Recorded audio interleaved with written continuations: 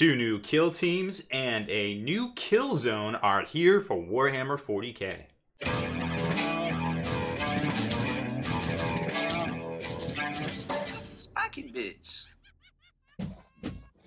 The kill team bus hasn't dropped below 55 miles an hour yet, so we have uh, some more fantastic releases. But I think just spitballing it, I don't know if that GW has any more terrain they can put with this stuff. But I digress. So this week we've got some great releases for kill team. Uh, Necrons are actually pretty solid in kill team, along with Nurgle.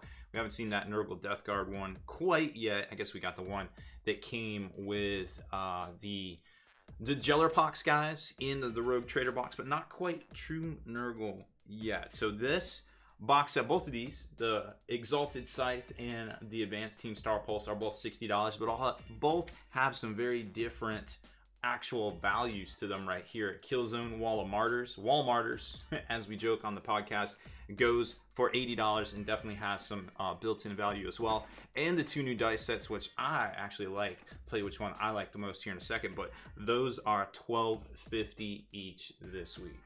So the Exalted Scythe set, like I said, is $60 and it's gonna come with the Immortal slash Deathmark combo set in two sprues of the Wall of Martyrs, defense lines, which is actually what comes in the box from Games Workshop. The defense lines are 41.25 and the Immortal Deathmark kit itself is a little bit cheaper. It's uh, I think $33. So you're gonna end up getting about a $74 value out of this box for your $60. And here's those big chunky Walmarter defensive lines. Uh, they're actually pretty cool. And you know, this is the back where they keep all the ammo and stuff up here is where all the like casualties and thing the dead have kind of piled up, kind of like uh, I guess maybe a little bit of homage to World War One. You know, you go over the line, uh, you might not come back. You might actually become part of the earthworks themselves. So you get two of those sprues right here. Now we've reviewed that stuff on the channel in the past. Your pack of tactics and your roster cards here, as well as the objectives, which is this hard cardboard piece right there. And then two sprues, which are different. This is your Immortal slash Deathmark squad and the bases for them. And here you can see some of the content that's going to come in it. Now the match play mission cards actually look like they combine the Wall of Martyrs kill zone box to do a little bit more right here. As you can see, not all this stuff is the defensive lines that come in this kit. And the what I thought was going to be the generic tactic here is actually key to the Necrons and the uh, Sector Imperialis uh, uh, terrain right there. So I don't know exactly how all that works, but we're about to uh, find out because that defense, I guess just the defensive line model, but that's not the defensive line model right there. That's the defensive position. So I guess they put the wrong picture on there and you can use the defensive line. I don't know. I'm not an expert at this uh, as far as like I didn't write these rules, but I guess I guess it's right there. But then you have those same pictures right here, so just be aware of that. Uh, you may need extra terrain uh, depending on how that shifts out. And then you've got your uh, points here for the guys that come inside, and there you can see some of their stats and all the tactics cards. Oh, and something else too that you're probably going to want to see is the sweet, sweet markers and objectives as well. So they look pretty fresh. I won't lie, I love how they do this little cardboard punch out sheet and then the instructions for everything right there. Next up, we have the advanced team Starpulse for Tau, who also come with the defensive line kit right there and also a box of Fire slash Breachers too. Now, curiously, I don't understand it, but the Fire go for $50 by themselves normally, and like we said, the defensive lines are $41.25. So it comes out to about a $92 value for uh, this box set here for $60. So clearly a better value for this box over the Necron one. But again, most people are just going to be picking these up to actually just get you know the, all the tokens and the uh, tactics cards and such but just thought it was worth mentioning because if you're looking for a little bit of extra terrain or perhaps you know some more Tau troops because everybody loves bubble wraps. Now in 40k that you can't fly over them. See what I did there? So here's the Fire Warrior sprue. Now this is the newer one uh, the newer Fire Warrior set cast in this uh, kind of I guess it's more of like an off-white like almost a beige kind of color here Uh, and of course, you get the little turret and all the extra breacher guns and things like that. We've reviewed this here on the channel and all the bases and things as well. So let's see what comes in their accessory pack. Same type of deal here. You've got two missions in here, one match play, one narrative play. Both look to use more of the terrain that's going to come in your kill zone box, which we're about to show you here. Here's all the points on uh, the whole squads here. Remember, there's 10 models in here. I think the kill team limit is 20, but I've heard of some uh, people house ruling to 10 models just because, uh, you know, your roster and such, but um, I'm not sure. I can't speak to it. I haven't played a whole lot of kill team yet, but there's an idea of what you can actually pull from out of your roster for these guys right here. And again, they kind of did the same thing with the generic terrain here. They show the picture of the, the point. I think it's the defensive point, I believe is what it's called. Oh, emplacement. It's called emplacement. And that is going to be keyed to Sector Imperialis and, of course, Tau right there. And then all of their specific ones, tactics as well. Then you've got their little fluff booklet about you know what's happening and all that sort of stuff. They're, these are pretty neat.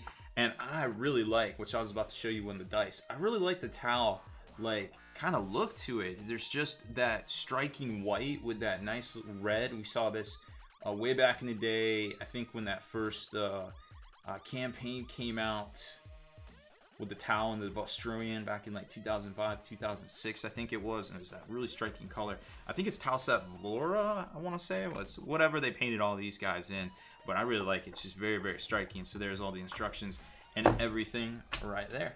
And real quick, quick, here is the two sets of the dice. Like I said, love the striking tau uh, scheme right here. We don't need to open these up. We showed you these like weeks and weeks and weeks and weeks.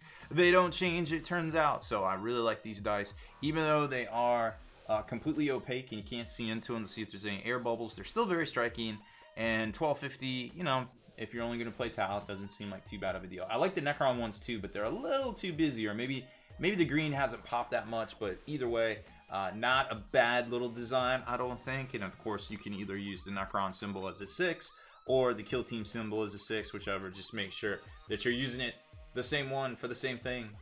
And last but certainly not least is the Killzone Wall of Martyrs expansion. Now, this is where the true value is because you got $80 uh, set off the shelf for retail right here and all with all the components included in here and not even pricing out you know the cards and the extra terrain board right here you're looking at a value of uh, I don't even know. Let's see. I think it's one yeah 137 so we'll break down that right here. So the defensive line itself we've already talked about this 4125 the Imperial bunker 33 then you've got the emplacement set, which is like these little ones, and this big thing right here. That's 4125. There's actually two of these inside of it, so you can actually, you know, kind of uh, have a little mini sprawling network up there, and that's basically how it is set up on the board.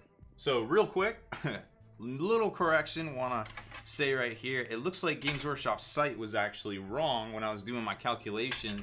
Uh, I went off their site. So this only comes with one defensive line, the emplacement and the bunker right here, which reduces its value by about $30. So you're looking more around the just over $100 price point for this when it's $80. So it's still not a bad deal. You're still going to get stuff. You're going to get some terrain, possibly new stuff for your kill team table.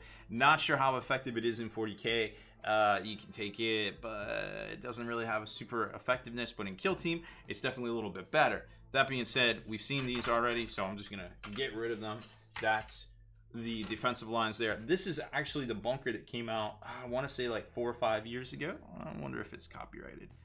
It is not copyrighted. This one said it was made in China, so I'm sure they just kind of refired up the machines there. But curiously, I have a painted version of this from four or five years ago, and it exactly, the materials almost exactly match in color and consistency right down to the actual, and I don't know if you can see it, but on that round piece in the center right there, there's a little mold uh, or perhaps a die mark from the injection molding, which looks to be exactly the same on this item right here in my hand that I got four or five years ago. So apparently they're using exactly the same machines and everything like that, or at least the exact same molds and dies.